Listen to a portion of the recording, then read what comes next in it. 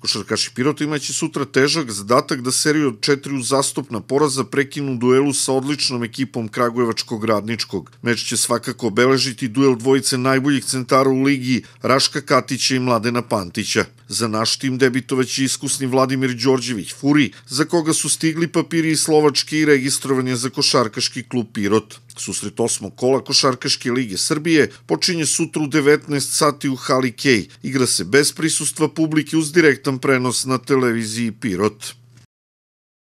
U sedmom kolu druge ženske lige košarkašice gimnazijalca dočekuju nedelju lidera prvenstva ekipu proletera iz Renjanina. Gošće su veliki favoriti u ovom susretu, ali izabranice Vladice Ranđelova učinit će sve da napravi iznenađenje i ostvore drugu pobedu u sezoni. Susret u Halikej počinju 18 sati.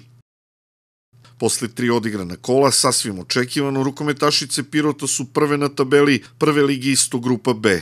Za četvrtu pobedu u nizu moraće da savladaju ekipu Urtnja. Susret u Boljevcu igra se sutra od 19 sati. U sedmom kolu druge ligi Istok odbojkaški klub Pirot gostuju Prokuplju ekipi Topličanin 97. Susret se igra u nedelju od 17 sati.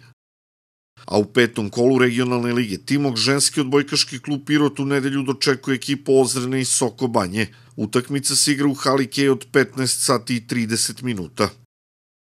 Ovog vikenda na programu su susreti predposlednjeg 14. kola jesenjeg dela prvenstva Zone Istok. U komšijskom derbiju Balkanski sutra od 13 sati dočekuje pirotsko jedinstvo. Zbog vanredne situacije u Dimitrovgradu meč se igra na neutralnom terenu u Beloj Palanci. Tanas Korajić u nedelju od 13 sati dočekuje ekipu Poloma iz Leskova, dok futbolski klub Senjak u istom terminu gostuje u Štubiku ekipi Branika.